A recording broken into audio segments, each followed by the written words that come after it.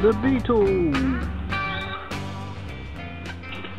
Welcome back to Utah's Fly Corner. Today I'm going to show you how to tie uh, my soft beetle.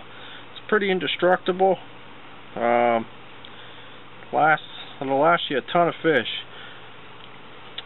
This is it right here. I'm going to show you how to tie it. It's a great, great fish catching pattern. Works great on trout as well as panfish. If you notice how far back the hook bend was, the fly was tied up. I do that so that the fly does not interfere with the bend of the hook. So, we're tying this on a Mustad 94831. It's a long shank light wire dry fly. I'm going to be using uh, red Uni 6 aught. Start the thread, bring it back, and you only want to bring the thread back to the point. Trim your thread, bring it halfway back up. Cut your piece yourself a piece of foam. You want it kind of wide, a little bit wider than the hook gap. Will help you. Just doing a little fine tuning on the foam here. Get the big guns out for that.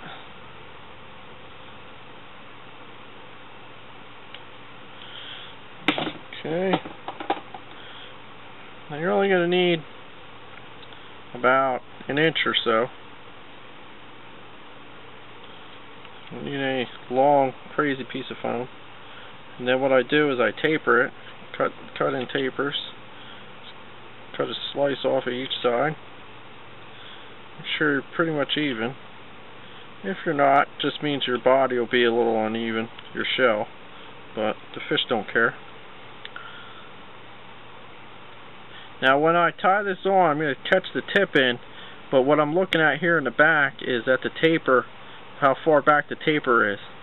Now, the taper, I want it to stop right, right at the heavy part of the bend, where it really starts to sweep. So I'm going to tie that in, catch it in, nice tight turn.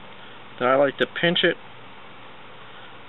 and just jump turns back to the point, and nice tight turns back up.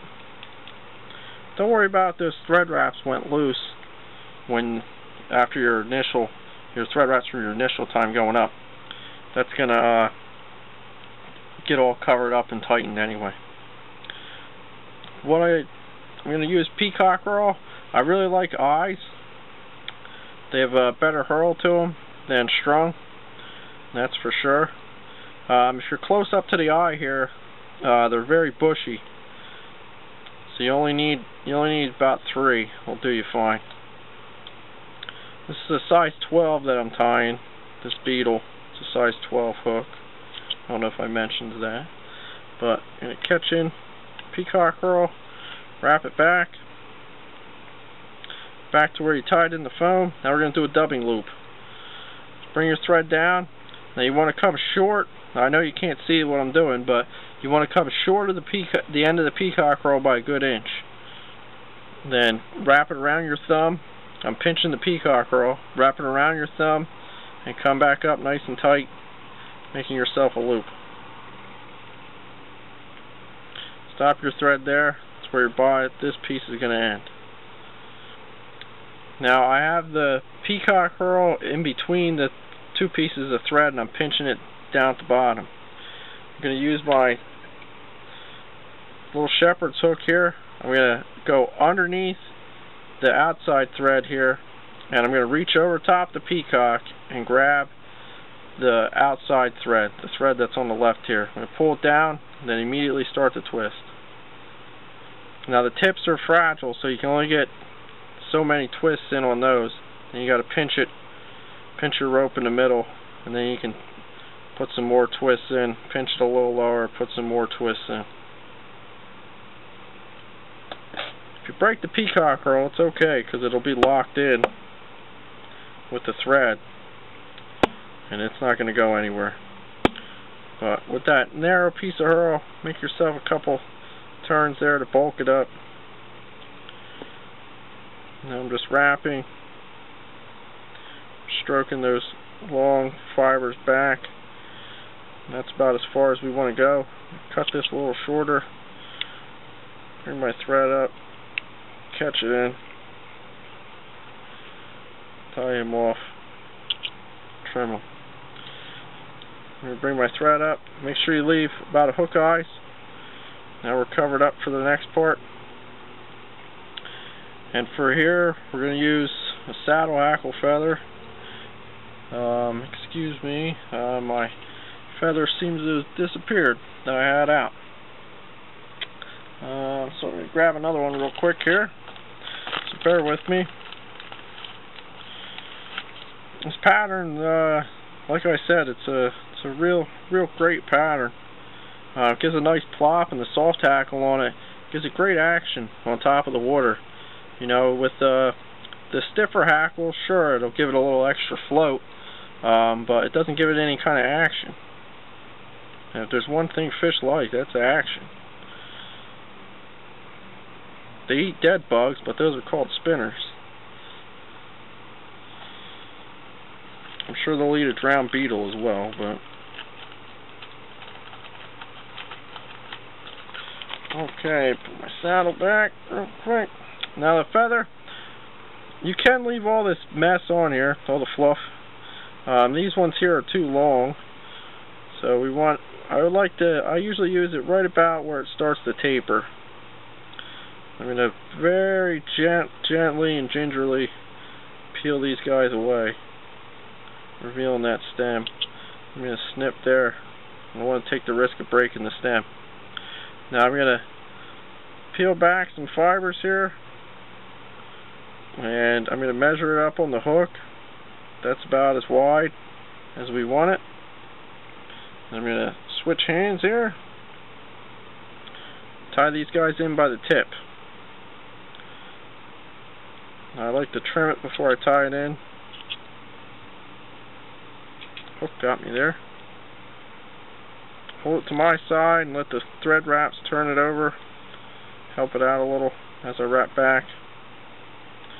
I don't go too far back. Bring your thread up, covering that in. Now we're going to do the same thing with the peacock herl again. Get ourselves about three or four fibers, herls.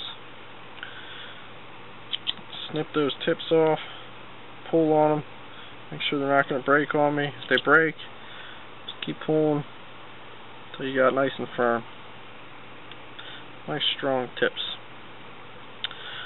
Wrap those back to the point where you meet up with your other peacock herl. Throw your dubbing loop.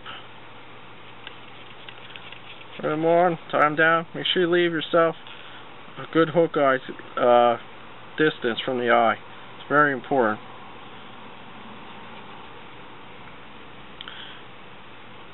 Same thing, we're going to lock that peacock in and we're going to twist it.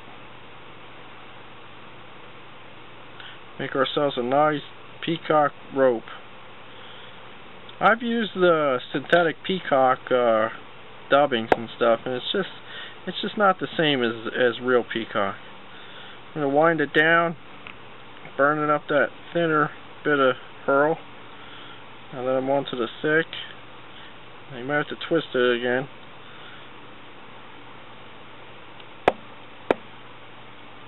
I'm going to do a quick wrap through. Catch it in.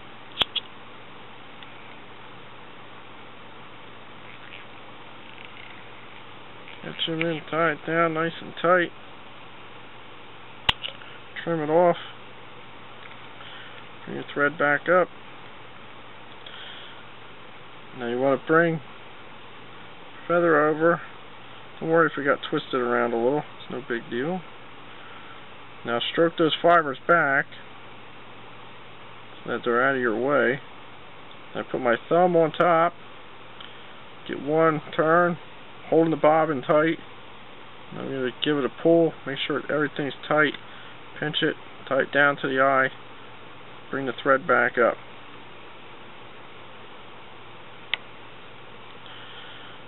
See where your legs are sitting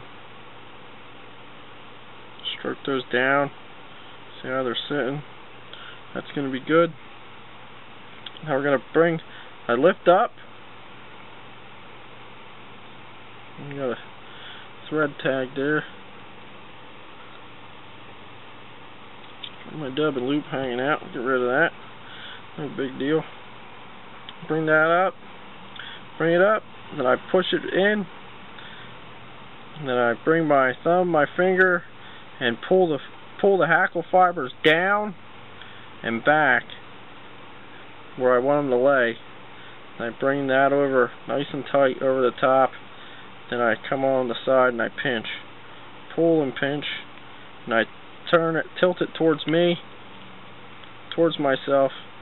I'm going to bring the thread up and it's going to pull it back over onto that side. Take three nice tight turns.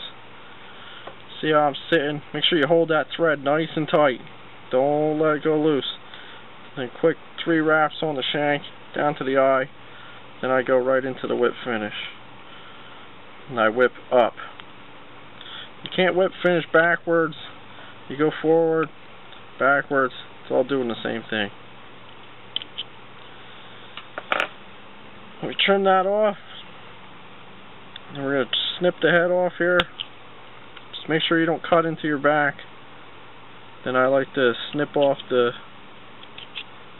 snip off the real blunt sides. Take a look. Take a look at what the trout are going to see. Or the sunfish, whatever you're going to throw this at. But then grab your legs. You can work them back into position.